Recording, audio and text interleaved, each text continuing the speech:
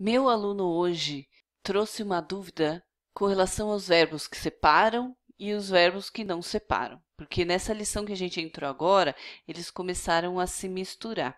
Ele não está mais sendo apresentado aos verbos separáveis, os trennbare Verben, mas ele está mexendo agora com verbos separáveis, os trennbare Verben, e outros verbos que parece que são separáveis, mas não são trennbare Verben. E aí vem a pergunta: como que eu sei, como que eu tiro essa prova se o verbo é separável ou não? Aí eu preparei um, uma animação para ele para mostrar direitinho como isso acontece. Então dá uma olhada. Agora então eu vou mostrar para vocês de uma maneira bem simplificada como que a gente sabe se o verbo é separável ou não, se ele é trennbar ou nicht trennbar. A gente tem, por exemplo, o verbo aufstehen. Para muitos, é óbvio que esse verbo separa, porque a gente já viu ele muitas vezes, ele é um verbo muito comum. Eu vou mostrar para vocês como que a gente acha e tem certeza de que esse verbo separa. Uma das maneiras mais fáceis para você não precisar ficar decorando todas as regras, tem muitas regras, muitas exceções para isso, é você ir conferir lá no dicionário. Aqui, olha, aufstehen está marcada a sílaba tônica no auf. Se a sílaba tônica está no prefixo e não no verbo, porque o verbo aqui é stehen, auf é uma preposição. Se a sílaba tônica está no prefixo, isso quer dizer que o verbo é trennbar, que o verbo é separável. Então, para o verbo trennbar, para o verbo separável, a sílaba tônica está no prefixo.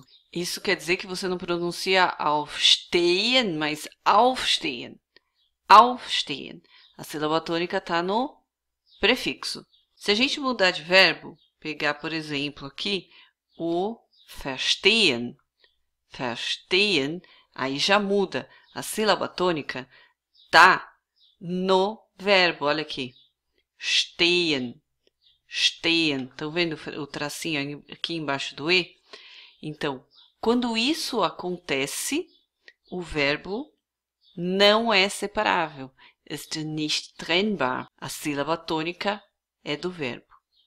Mas, quando você se depara com um verbo novo que você ainda não conhece, existem outras regras que podem te ajudar. Tem grupos de prefixos que não separam, tem grupos de verbos que não levam prefixo que separam, e assim por diante. Eu vou deixar aqui um link de um blog e de um post que isso, onde isso está tudo bem explicadinho, para vocês tirarem todas as dúvidas. Lá tem as exceções e as regras. Zum Beispiel, ich stehe heute um 6 Uhr auf.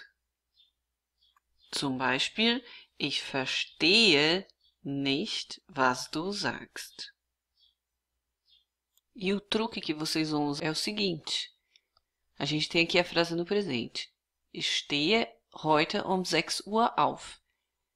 Esse verbo que separa, quando ele vai para o perfect, ich bin heute um 6 Uhr aufgestanden. A gente precisa do G aqui, na frente do verbo.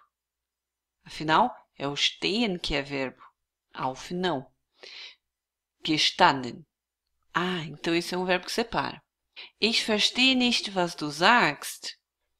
No Perfect fica Ich habe das nicht verstanden. Um verbo nicht trennbar não recebe o G aqui. Olha a diferença. Verstanden, aufgestanden. Espero que esse vídeo tenha te ajudado. Se você curtiu, não esquece de dar uma curtidinha aqui. Se serve para mais alguém, compartilha. E não se esqueça de se inscrever no nosso canal para receber as notificações. Bis zum nächsten Video. Tschüss.